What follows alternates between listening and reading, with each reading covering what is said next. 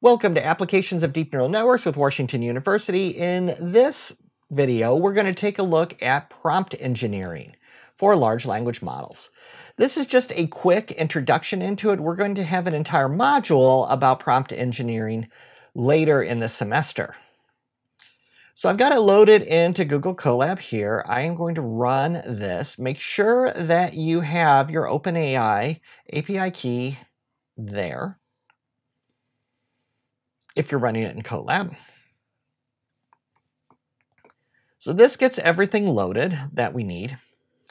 And we'll get into, into understanding the, the prompts.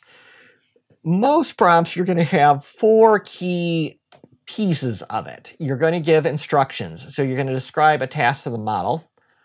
You're going to give it some external information that might not be in its foundation model you're going to give it input data. And by the way, context information is where RAG often comes in, retrieval augmented generation, where you're basically providing your large language model with a database that it can query to get additional proprietary information that is not available elsewhere.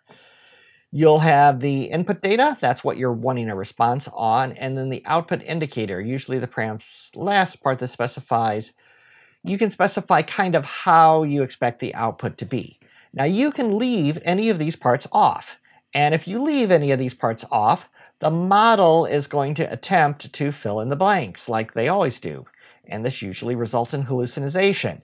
So you want to try to come up with good prompts. And by the way, hallucination is when the model just kind of makes things up without really any, any rhyme or reason necessarily. Usually it's from bad prompting. So here we will see that, now it doesn't wrap this particularly well, but it says summarize the following product review in a single sentence.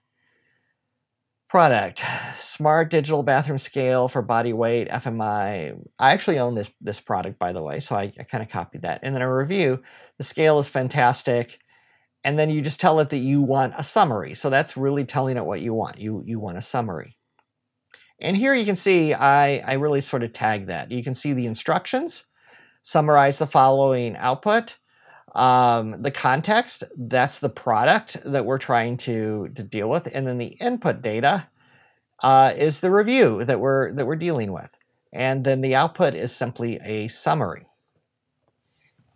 So that's the usual format that we'll start with any, anyway for prompts in this, in this course. Uh, there's some other things that you should be aware of as you're you're doing this. You'll hear these a lot when you're you're working with people talking about generative AI and how you train it. So there's the zero shot training or the zero shot prompt pattern. This means you have not done anything to train it. You've given it no training data. It just knows it from its foundation model, from what it was trained on, probably from Wikipedia. And you're you're just not giving it. So here's an example of of this.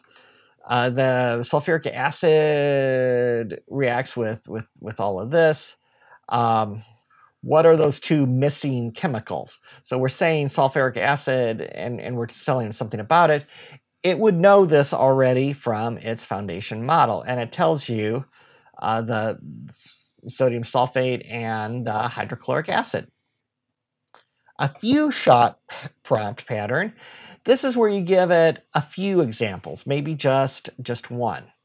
So you give it some examples of positive and negative tweets, and then you, uh, you expect it to, to know if it's positive or negative from its own knowledge that it has from the foundation model, just like you did in the zero shot.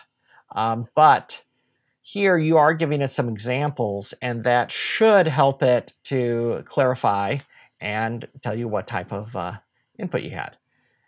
And then I give you some code here where you can basically it, it just experiment with it.